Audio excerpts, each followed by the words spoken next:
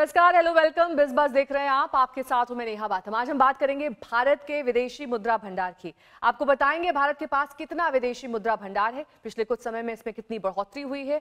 विदेशी मुद्रा भंडार के मामले में दुनिया में भारत कितने नंबर पर है और विदेशी मुद्रा भंडार बढ़ने के मायने क्या है?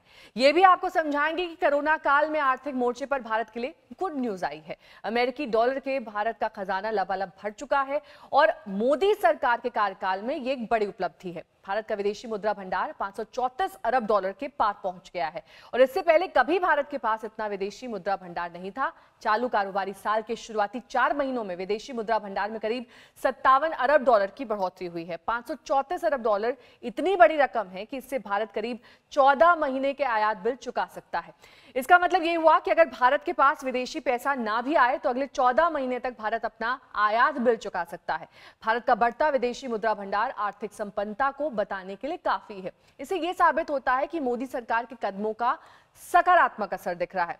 अब आपको बताते हैं आखिर विदेशी मुद्रा भंडार में बढ़ोतरी की वजह क्या है। सबसे पहले तो बढ़ोतरी की बड़ी वजह है आयात में कमी। पिछले कुछ महीनों में सस्ते कच्चे तेल की वजह से आयात बिल घटा है। कोरोना की वजह से सोने के आयात में कमी आई है। कच्चे तेल और सोने के आयात के बिल में बड़ी हिस्सेदारी विदेशी मुद्रा भंडार में बढ़ोतरी की वजह है। विदेशी निवेश का बढ़ना और भारत में पिछले कुछ महीने में फॉरेन पोर्टफोलियो इन्वेस्टमेंट और फॉरेन डायरेक्ट इन्वेस्टमेंट में भी बढ़ोतरी होना। सरकारी डेटा के मुताबिक कोरोना काल में भारत में 22 अरब डॉलर का विदेशी निवेश हुआ है। कोरोना काल में जहाँ दुनिया की बड़े बड़े विदेश और देसी निवेश लाने में कामयाब हुई हैं कंपनियाँ, और ऐसे में ये भारत के लिए बड़ी कामयाबी माना जा रहा है। ये कॉर्पोरेट टैक्स में कमी और कारोबार को आसान बनाने की वजह से हुआ है। विदेशी कंपनियाँ चीन में निवेश से परहेज कर रही हैं और उसका फ़ायदा उठाने के लिए भारत कामयाब रहा है। आज एप्पल जैसी कंपनियाँ भारत में निवेश कर रही हैं। अब आपको विदेशी मुद्रा भंडार बढ़ने से क्या फ़ायदा होगा, ये बता देते हैं। दरअसल विदेशी मुद्रा भंडार बढ़ने से डॉलर के मुकाबले रुपया मज़बूत होगा।